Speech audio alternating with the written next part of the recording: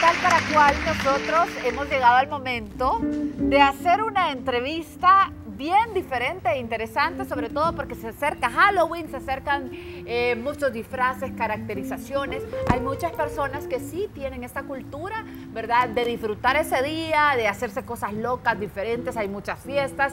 Y es por eso que tenemos acá a nuestro amigo y maquillista aquí personal, Ariel Holzhauer. Holzhauer. Holzhauser. Holzhauser. ¿Cómo digo? De todo le dijimos. De todo le terrible. dijimos. Bienvenido, bienvenido. Bueno, bienvenido. Arielito. Hola, ¿qué tal? Pues ahora estamos con esta nueva tendencia, con esta innovación acá en el país. Estamos trabajando lo que son prostéticos de látex para caracterizaciones, así como la que le hemos hecho a Don Chepe.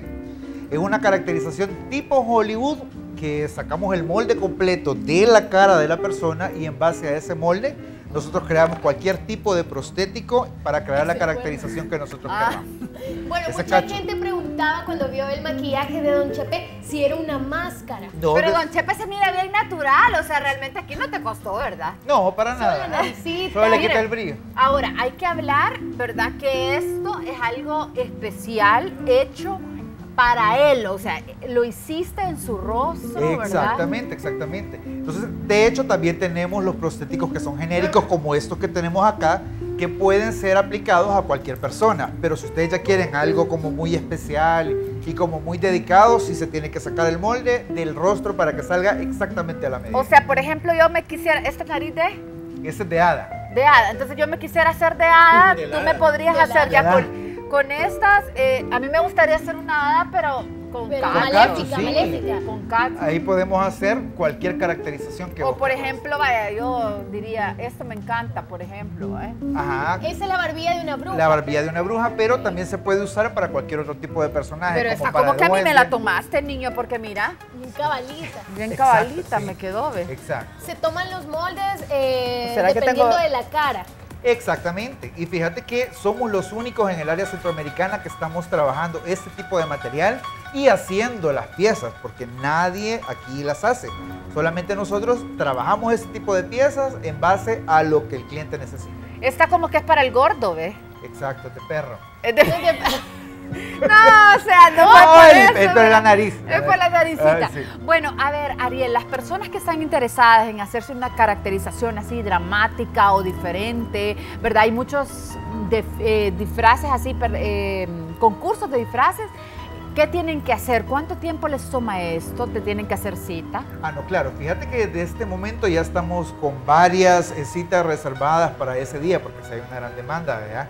Si ustedes quisieran que se les practicara algún tipo de caracterización así como esta, tienen que comunicarse con nosotros a Maquillarte El Salvador. Ahorita está apareciendo la fanpage donde ustedes se pueden contactar con nosotros y hacer la cita previa y empezar desde ya, porque si no se queda sin su cita y acuérdense que con un maquillaje de estos tiene garantizados los premios donde sea. Y no es cualquier tipo de maquillaje. Esta es la nariz de una bruja y tiene hasta las verrugas, Sí. tiene todos los detalles. Exacto, ya al No momento de colocarlo, No, es que se me cae. te queda chido.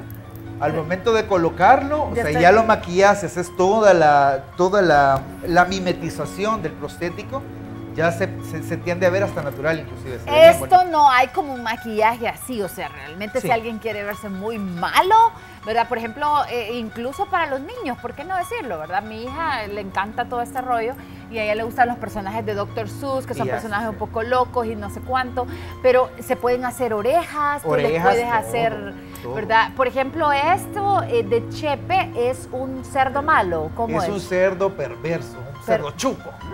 Entonces, fíjate Pero aquí fíjate es- que te queda bien, o sea, realmente siento yo que hay cosas que se ¡Ay, ven no, hechos, pero con vos va, o sea, como a la realmente medida. a la medida. mira, aquí solo le, le hiciste un poquito a la nariz, pero no es mucho, ¿verdad? Solo medio truqueado. Y le puso pelo porque él no tiene pelo. No, miren, la verdad es que esto es todo un arte, o sea, aquí le ha puesto prostéticos. eh, ¡Ay! ¡Ay! no! Toda la parte no sea bayunco, chepe, ridículo, cerdo malo, ¿ah? ¡Ay, no! Cerdo chuco, malo. Aquí le has puesto unas cadenas, mira. Mira, solo te hace falta tocarte los pelos de aquí. No. Pueden estar pendientes porque dentro de poco vamos a empezar a hacer los tutoriales para que ustedes se den cuenta antes de empezar Halloween qué es lo que ustedes pueden hacer y cómo pueden aplicar este tipo de Me productos. encanta, Ariel, de verdad que felicidades. Como tú dices, esto es algo muy novedoso en Centroamérica, así que para todas las personas interesadas, busquen a mi querido Arielito, que se van a ir felices y contentos, ¿verdad? Ahí está. Este, nosotros eh, ya nos vamos porque de verdad que, o sea, es que este...